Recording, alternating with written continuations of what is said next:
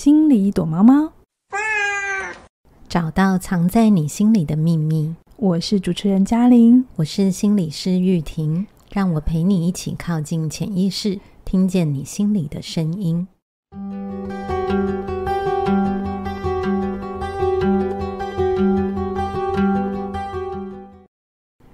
Hello，又到了心里躲猫猫的时间。开始之前，我一样的要呼吁大家去下载我们的 App。你下载了吗？如果下载的话，欢迎在我们留言区里有打有说有，我已经下载好了哈。不管你是 iOS 还是呃 Android 系统，到可以下载 App 的地方，然后输入起点文化启动的起，然后点几点的点起点文化，因为有时候会有人写错，你知道吗？对，起点文化，你就会找到我们的 App 喽，你就可以有更好。好的学习体验。好，玉婷回来，我们今天要聊一个我真的很常被问的问题，也是我觉得我也自自首，我也有曾经有过这个镜头，就是我们在关系里一定会有期待嘛，对不对？我们会期待。当对方如果全心全意的爱我们，或者很在乎我们，他就应该会知道我们的一些需要啊。就我不用讲，你就应该会想到啊。这么明显了，为什么一定要我每个动作都要做？那一定就是你不上心才会不知道。嗯，那我很想要你的时候，你就在这个需求不合理吗？嗯，你可以直接打枪我。呃，我嗯，好，我要想一想，说这个这个要怎么样去会，因为我觉得。有这些需求真的好好重要，就是它是我们很人很本很本能的一种渴望。对我真的好希望你什么都不用说，我什么都不用说，你就懂我。对啊，这不是一种很美好的感觉吗？真的很美好哇！而且会有一种找到灵魂伴侣的感觉。对，好像就是完全不用说话就可以懂哈。对对对。好，那我要说这个真的是非常。真实的渴望也非常的重要，所以你完全不需要感到抱歉，你有这样的想法，因为这太自然了。可是这个我要讲的是，它就是一个我们在讲的一个概念，就是一个非常全能自恋的一种想象。嗯，哦，为什么？哈，因为你要想哦，如果有一个人他全心全意的关注你，你不用说话就知道你在想什么，他应该没有他自己。他才可能成就了这件事情。对对，所以当这样子的时候，你就注定你有这个渴望，而另外一个人不可能存在。嗯，你就会呃注定不断的经验一种失望的痛苦。对，这东西真的是你只要谈过恋爱，多谈几次，你就会经验到失望跟痛苦。这年轻的时候，我我承认我有，我会我会期待，我好像多看什么东西两眼。然后对方就会注意到我看到的东西，然后还会如同我的想象般的就把它带回来买买回来给我。可是就像刚才讲的，其实这是我们要对方只有我没有他自己，嗯，才能够做到。对，但是这样的话，他会造成我们失望。可是我们又要怎么去理解这种他做不到？嗯，我我好，我觉得这里面哦，先回到因为刚才提到的那个爱情，那个你浓我浓的状态，所以我们确实。在谈爱情这件事情的时候，我们真的会经历到那个幸福的感觉，用这一种满足，一种真的是超越人类极限的一个状态。可是我们都只谈过恋爱，都知道，嗯，他没有办法总是如此，是对。好，那我们现在要讲的就是那个没办法总是如此的时候，嗯，我们当我们没有意识到人是有限制的这个状态，其实是。我们非常原始的时候就经验到的哦，我们是小 baby 的那一刻，嗯，我们其实一出生，我们并不知道有另外一个人存在，我们会开始经验到一种啊，我就是我哭，嗯，就是我我饿了，我开始哭，发现哎，就有奶水可以喝，哎，对，然后或者是我屁屁不舒服，哎，是我好像。就有人碰一下我，我就变得舒服很多。我可能会开始用哭的方式去表达，嗯嗯。然后，可是这个时候我都还不知道，嗯，其实是有一个人，有一个叫妈妈或照顾者的人，嗯，他一直在照顾我，是对。然后你就会发现，当某一刻你哭，你肚子饿，没有人来喂你，嗯。这是怎么回事？你的 你的那个全能自恋，因为你都会以为是自己在控制这个环境嘛，被满足。可是当你发现那一次你哭没有人来，两次没有马上来。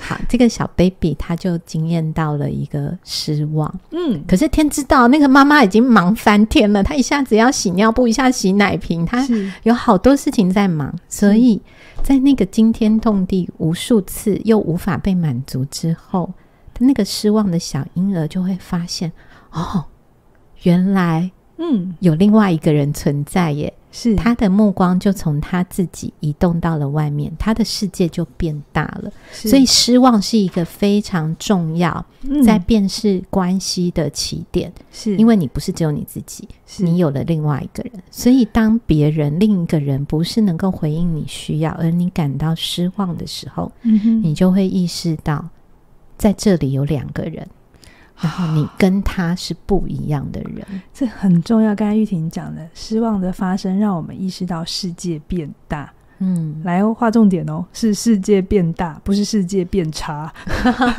诶，真的是京剧哎，对不对？是因为我们失望的时候就觉得很痛苦、很不舒服。你为什么没有来满足我？可是刚才讲了，不会有另外一个人随时随地都知道另一个人的需要，哪怕是爱你的妈妈了，她怀胎十个月把你生下来，她还是有自己的生活，而且她在做的事情可能还是在跟照顾你有关嘛。比如说奶瓶是要洗的，而且要消毒，对不对？嗯然后你的这些干净的尿布是要去买的，嗯，对，它不可能随时都在你每一个欲望需求产生的时候就会很快的满足你。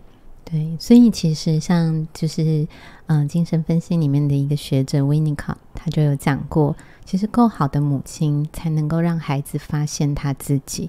嗯哦，就是因为他不需要做到完美，他在那一些失望的片刻，其实是帮助到孩子知道，诶，我自己在这里，嗯然后慢慢的你才会用。就是自己去找到自己的能力，真的是属于他的。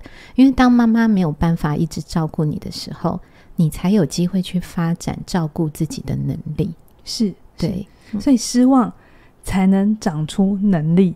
嗯，这这这个是重点哦，是，因为失望了，你于是你不，当然有些人会说不期不待，没有伤害啦，嗯，这是一种解释。可是另外一个往比较呃，我觉得照顾自己的解释是因为失望了，于是我们启动了自己能够照顾自己的能力，跟开始练习去做这件事情。对，嗯而且那时候玉婷我们在讨论的时候，你讲了一句话，我觉得很好。她你说，因为失望才能发展出能力嘛，照顾自己的能力，不就不需要一直被别人照顾？也嗯因为要照顾自己，你才会长出一些兴趣，嗯然后兴趣也才会变成后面的更专业的能力也好，或是支撑你一辈子可以做一件你喜欢的事情。这一切是从失望来的。是，所以失望这一个起点实在太重要了，它可以带给你就是没有没有极限的可能。是，但是他很痛苦啊。嗯，对，我要怎么解读失望呢？好就是我我我我经验到失望的时候，我最常会觉得他是不是不再爱我了？他是不是不再在乎我？他是不是讨厌我了？嗯，我我觉得哈，这个真的是对啊，特别在亲密关系里面，嗯，当一个人没办法如你所想象的时候，你确实会往他不爱你、他不在乎你去想。嗯，对，那可是真的，你看哦，其实小 baby 妈妈要做的事情已经够少了，她都可能没办法完全做到，嗯，更何况我们长大成人，我们的需要变得更多，那也意味着我们要去照顾另外一个人的时候，我们的限制也变多了。嗯，对，所以这种时候，我们要去想的是，嗯、当一个人在他的现实生活里要一直做到完全为着另外一个人活着的这个可能吗？嗯，因为反过来想，你可能吗？当然我不要啊，就是我要别人这么做啊，就回到全能自恋的状态啊。是我们有那个那个愿望，可是我们知道这不可能，因为我们连自己都做不到，做不到。嗯所以我觉得哈，这里面真的一直要跟大家强调的一个重点是，嗯当你觉得对方不爱你、不在乎你，这个感觉是非常真实，这个痛苦是非常重要的，因为你的感觉是真的，你绝对不要怀疑你，觉得说啊，我我不要这样想，他不是这样的，然后不用怀疑，因为你的感觉跟对方爱不爱你这个事实是不一定相关的。是，对，所以你一定要承认自己有这个感觉，你才能照顾你自己。嗯，可是跟对方爱不爱你，你如果能够区分，你才能够好好在了解你自己的需要以后，嗯，再回去跟对方做讨论。是嗯好。那现在问题来了，你刚才讲另外一个人不会随时满足我们嘛，对不对？嗯那我也有的时候我也意识到，哦，我真的不舒服，我受伤了，嗯然后我去跟对方讲，嗯，我感觉没有被你爱到了，嗯，对，但是对方还是做不到，或是他有他的困难的时候，我又要怎么理解？嗯，嗯。这这会让我觉得，哎，好心疼。这就是另外，就是我们真的也很真实会浮现的。我们去沟通的时候，对方嗯，可能也会有为难，他也没办法想到什么好方法对，可以回应。这个是在沟通里面很常发生的而的，且不管什么关系都是这样子，对任何嗯关系，那你可能很多人大概都会开始想，诶，我这样说是不是让他不开心了？对他脸色沉下来了啊？会不会是他太累？我们嗯开始马上把自己的需求丢掉哦。嗯，你本来是带着失望，然后想要去跟他讨论你的感觉，嗯可是你当你开始开口后，你看到对方的状态，你会马上把自己的需求丢掉，然后去体谅对方。嗯去想说，哦，他最近很忙啊，嗯工作太累啊，我怎么这样去跟他讲？这不是一件很体贴的事情吗？真的超体贴，不是应该成熟的大人要会体贴吗？是。但成熟大人在这个体贴里面，如果我们是丢掉了自己的需要，我们其实对自己做了一件非常残忍的事情。对因为我们把自己都割舍掉了，嗯，像是完全不顾自己去帮助嗯对方可以维持他自己嘛？是这这就是很像我们不是坐飞机一直在说的安全守则嘛？我们一定要先自己带好氧气罩，才有办法去照顾我们身边的人。对，所以，当你把自己的需要搁置，你等于把自己的一部分切割掉了、丢掉了。嗯对，你在实务工作上有常常遇到这样的人吗？我们真的真的是蛮多蛮心疼，因为会想要用智商来了解自己的人，其实我觉得是蛮能够去设身处地为别人就是不想想要麻烦别人，才找一个付钱 找一个人来嘛，对不对？对对，就是真，其实真的这样子的的来谈者真的非常的多，那也是蛮心疼，因为他们总是往自己身上嗯，找问题。是。可是我我在想，我们真正在找的其实是他的需要。哦，从问题，你不是在找问题，是在认清楚你的需要。对，把自己认回来。那我觉得这里面，我觉得想分享一个案例的故事哈。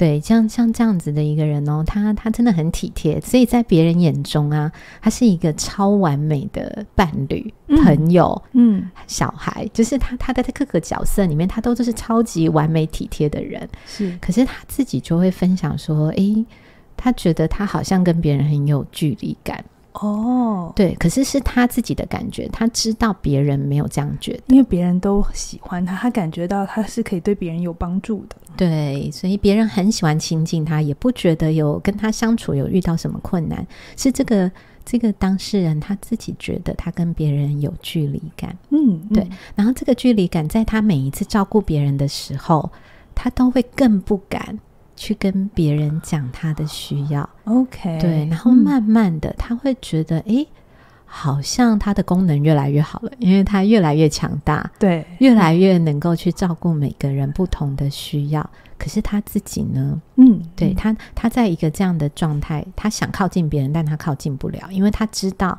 要靠近别人要去分享他自己，是，可是他做不到。对他总是那个去倾听别人的人。嗯好，那这个这个个案，我们可能就发生了一个状况。好，就是我我我也是跟他相处，就是非常的舒服，很能够反他思很会照顾分析师，对对对他知道我们要好好的去想自己，所以他很努力的，就是每次都会带题目来，然后会自己想，也探索的非常的深刻。然后每一次嗯谈话，他都会让我感觉到，诶，他好像又更了解自己一点。我就觉得，哇，这真的是一个连你的成就感都照顾了。对非常流畅的进展这样子。嗯但是就有一次，我们可能就发生了一个状况，就是我们他那一次不知道为什么他就是迟到，嗯然后迟到蛮有一阵子了。那我我其实也也没有办法跟他取得联络，那我嗯就会等，因为那个本来就是我们约定的时间，我就开始在想，一个不这么嗯、呃守规矩、会照顾别人，他也会打电话嘛，那也嗯都、也会寄 email，就是都没有。嗯然后在这样的状况里，我一直在想发生什么事了。对，然后当他进来的时候，我他就跟我说：“诶，他他他发生路上临时有什么状况，他迟到了，然后他很抱歉。那我们就是要改对取消？这次我们就是取消，还是我们就改时间这样子？那我就会跟他做一个讨论，因为我们的约定其实是咨商时间，如果已经开始，其实这个 session 就是要收费的。对，对，那如果呃，那在这样的情况下，我们还有一点时间，我们要不要继续谈？对，因为既然都要付费，那他当场暴怒，嗯，可以理解。因为一般人的理解是我没有使用，为什么我要付钱？对，那、嗯那这个里面就会牵涉到我们原本约定好的，其实是这样。是，然后以他就是一个他一个体贴人，跟他非常在意每一个约定的一个状态，嗯，我确信他是知道。的嗯，对，所以那个暴怒里面，我当然现场我们是无法讨论的状态。他真的非常的生气，觉得我怎么可以这样子对待他？我完全不体谅他的为难，跟他辛苦已经赶来见我。嗯，对，他觉得我好我。多委屈哦。对我怎么可以？别人可以不懂我，你你怎么可以我？已经跟你建立关系这么的久，难道你还不知道我是怎么样的人吗？对，所以我我觉得我我其实真的很为难。所以嗯重点不是我要收那个费用，重点是是是，我看到了他可以对我暴怒，嗯，然后讲出了这一些，他可能是最他最失控的表现了。对，然后也是他最真实的他。对，对他好希望我嗯可以体谅他，他也好希望我为他破例。OK，这里面有那个动力出来了。我希望我不说，但你能懂我的需要。对，没错，他希望我，而且他一直觉得我是那个他理想中完美、会照顾别人的人，我就是他想要成为的样子。可是当我让他失望的那一刻，即便他知道他的要求不是我们约定的，嗯嗯，他还是把我想成那一个剥削他的人。就是那一瞬间变成你跟他其他生活里所有的所有的关系一样，都是在他身上要东西。对，原来你要我我来，就就只是为了要收我的钱。对，嗯嗯，但我我们才，但也因为我们之前的关系够稳定，所以嗯我们可以去谈嗯，这里面那个被剥削的感觉到底是什么？对，是是你觉得我是为了钱跟你见面吗？嗯哼，还是你觉得我们这里面就发生了像刚刚嘉玲讲的，其实跟你比跟别人的关系都一样。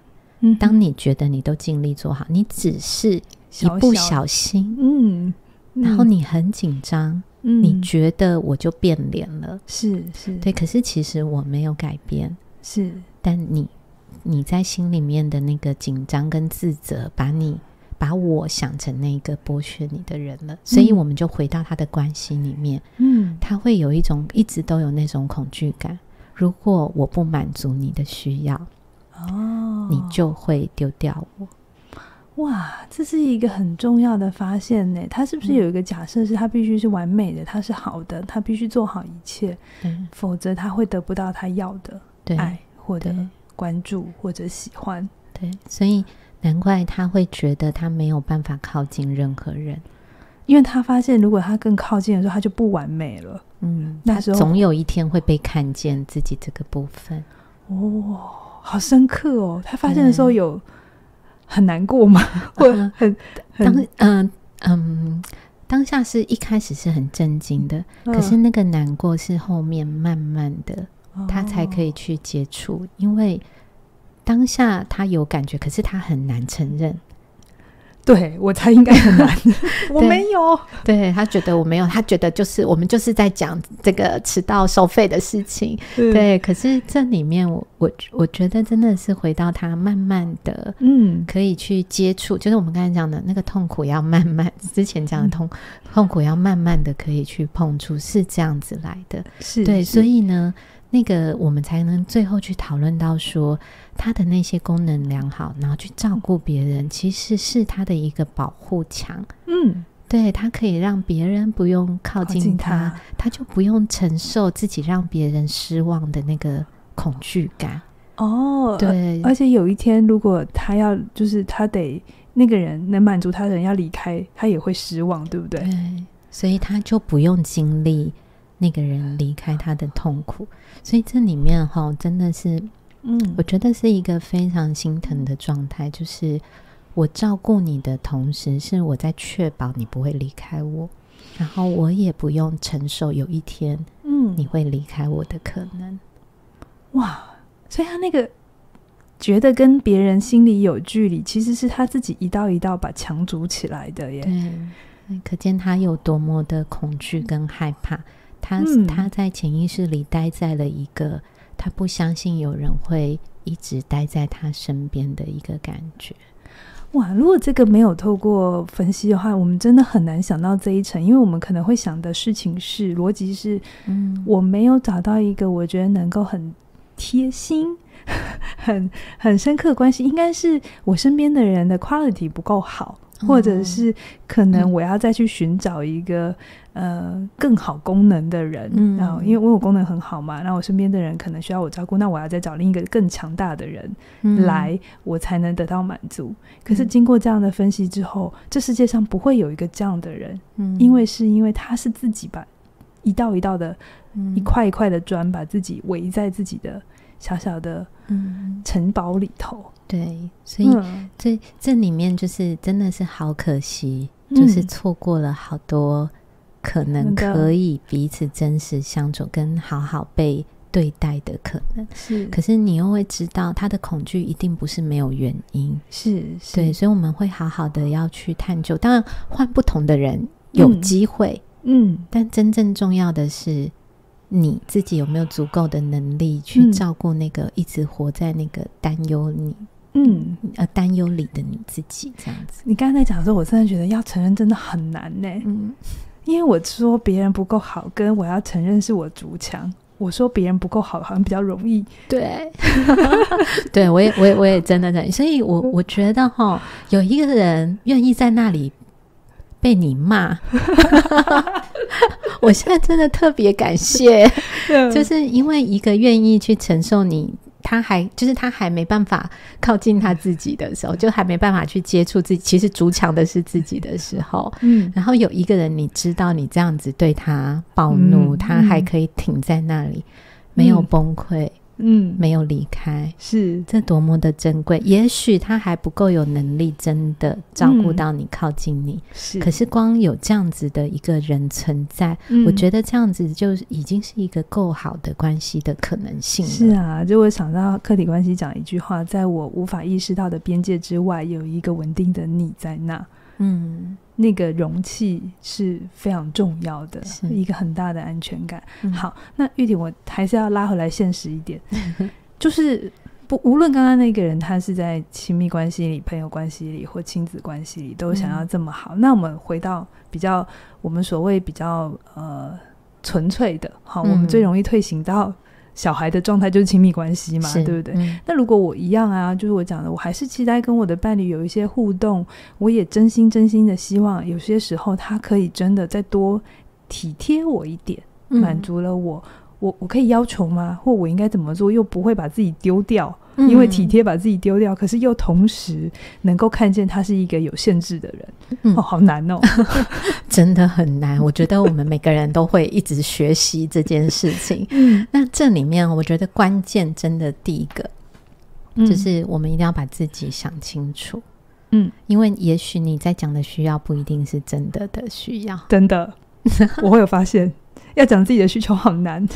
对，你会以为我只是要你花时间多陪我，是然，后可能对方就在你旁边嗯划手机，嗯那你就说我不是，我是要你陪我聊天。嗯然后对方真的陪你聊天了，你也觉得不够，我要内在心我灵我要我要交 deep 流的，我要我要深刻的。对，然后对方 deep 是到到底是什么？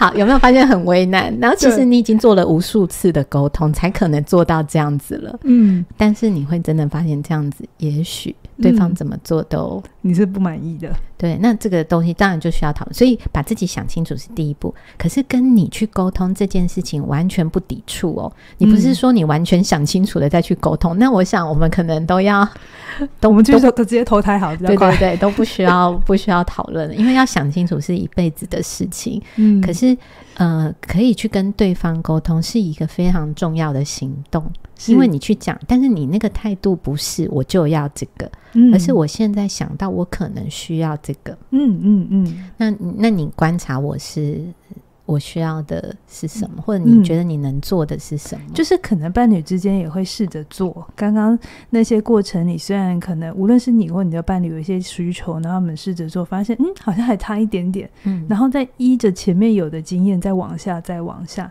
嗯其实这整个历程是很重要的。对，所以重要的真的就是一个持续的稳定，嗯可以一直讨论。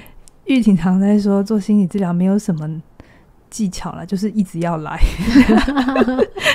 一直能看见，一直能讨论。对，然后嗯真的想到什么都可以谈。其实一个好的关系就是这样，嗯想到什么都能够跟对方讨论。嗯那嗯对方也许当下没有办法马上做出什么你让你很满意的回应，或者你也没办法做到同样的妥协，嗯但这都没关系。重要的是你们两个可以在下一次继续讨论。是对，是所以这真的是这样哦。我们越了解自己，然后嗯我们有自己，我们才能允许对方也有自己。是好，那我这边就想要问一下，我跳开一点，就是心理动力会给建议吗？比如说像刚刚那个当事人，其实是一个很很深刻的发现，嗯原来我的功能良好都在筑墙，都在嗯把别人推远。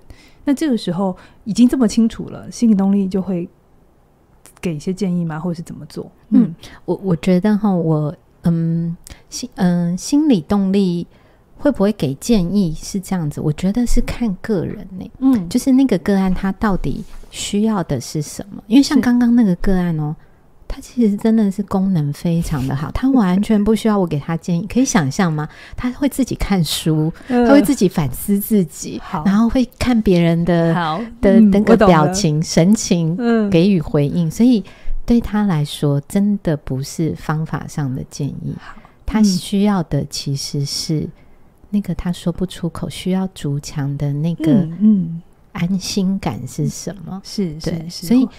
嗯，但有些人哦，就是我就真的知道，我会听一听，发现他真的不懂哎、是不是不能假设别人都知道？对对，所以我、我嗯觉得我是会调整的，嗯因为我我以前会觉得，诶，任何都都是我们尽量不要给钱，可是真的越越做越久，我会发现真的不知道的时候，你就真的告诉他，对，那他就通了。其实重要的事情是之后的事情，对对所以没有一定。那这里面可能就需要讲的事情，如果像刚刚那个 case 的话，可能对他来讲不是建议，而是他能不能开口。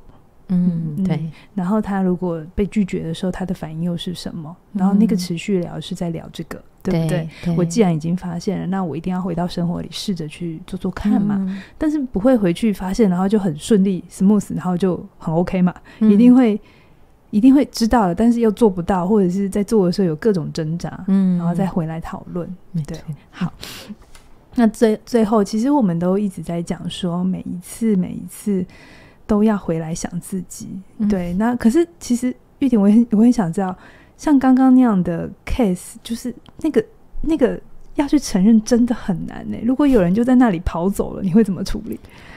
嗯，我觉得呢，跑走一定有原因。原因，要么就是我们的关系还不够让他信任来开口跟我谈，是。那那这样子，这个逃走就是必然发生的。哦，对，但是如果有哪一刻他觉得他想再回来跟我谈，嗯，那我是非常愿意的，因为只要能够回来，嗯，它就是开始的下一个启程。OK，对，所以逃跑没关系，因为你知道，有的时候真的很痛苦，人生没有一定要就是在某一个点上把自己就逼逼到到最极致，嗯。因为我们的生活有各种可能，所以你想休息，这是一个很真实的感觉。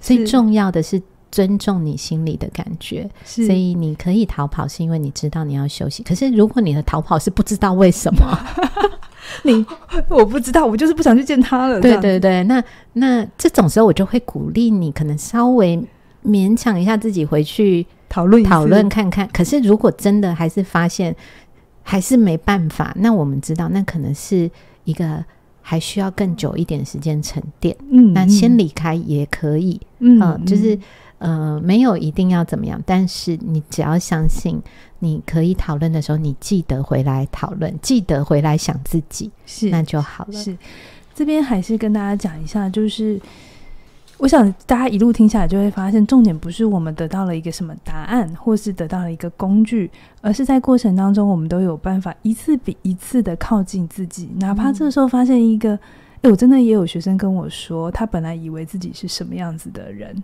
他对自己有一个假设，那在聊的过程里，聊着聊着聊着，我可能某一次给了他一个 feedback，嗯。我我也没有觉得那句话特别重，好，就是嗯。我觉得，诶，我好像听到了你某些东西，然后我说，诶，我好像感觉了你一个什么，我就回馈给他。然后那句话没想到他一直放在心上，嗯。然后他可能很 shock，然后他也不是下一次就跟我讲，可能过了几次之后，他就是说，老师，你那一次的那句话，嗯让我对自己的看法，我我我我我我其实他是挫折的，刚开始他是挫折的，嗯。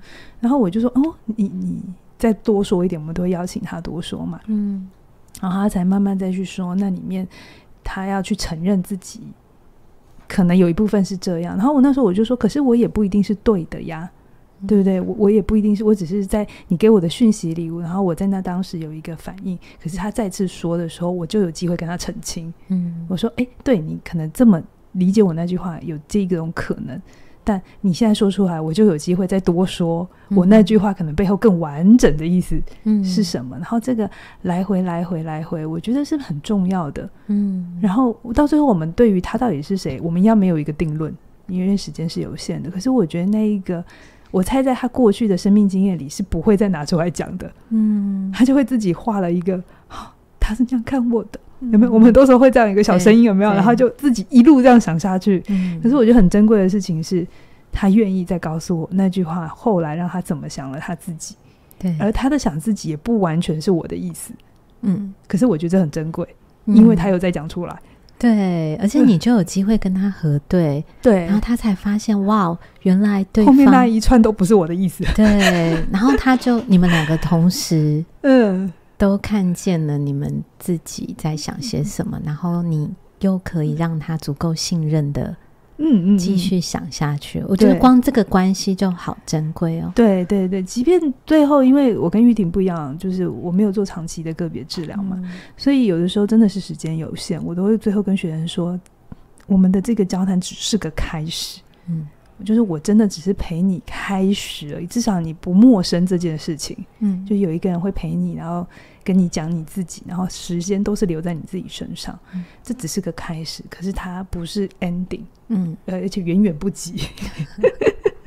对，所以我会想告诉大家，分享一个我自己想自己的方法哦。嗯当然，如果你身边有像玉婷这么好的心理师，一定要好好用哈。但是更多时候是我自己会是，我会在我的日常生活里安排，比如说运动，嗯就是一个上次有讲的固定的时间、固定的活动或固定我可以留给自己。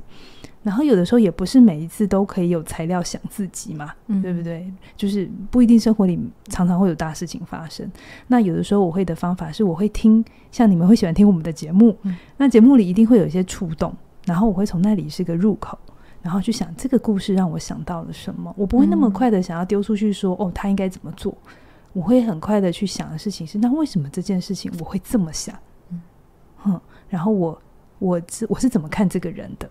嗯嗯，然后就想说，那为什么我会觉得这样才是好的？我不会说我是对的，我会去想，那为什么我觉得这样我会更喜欢？嗯那这都是一个靠近自己的方式。那当然，线上课程也是，嗯然后各种可以让你停下来想自己，都是一个好的方法。对，所以我觉得嘉玲分享的这些方式，真的都是大家平常就可以做的。所以想自己不是说一定要多长的时间，其实，在你的生活里，能够有一个静下心来，嗯不用很久，嗯哪怕是三五分钟也好，嗯，你都可以去想自己的感觉，跟自己对话，回到自己身上。是，哦，不要给自己太大的压力，只要嗯开始，嗯。好，嗯继续做下去就可以了。好的，那最后一样就是告诉大家，呃，心理治疗或者是心理分析，有时候有一定的框架。上次我们讲了时间框架、空间框架，还有这一次收费框架，对不对？这些规则不是拿来限制我们，而是我们认识自己的入口。是，规则如果全部都要配合，那你会没有了自己。可是如果你都要别人配合你，你也还是会经验到很多的痛苦。嗯，那规则是要让我们看见我们彼此的差异，然后我们开始有讨论的空间。嗯，对，好，今天非常非常的精彩哦。好，那最后一样呢，还是宣传我们已经有起点的 App，请你到能下载 App 的地方输入起点文化。好，那这今天的节目到这边，期待未来推出更多更精彩的内容。拜拜。拜拜。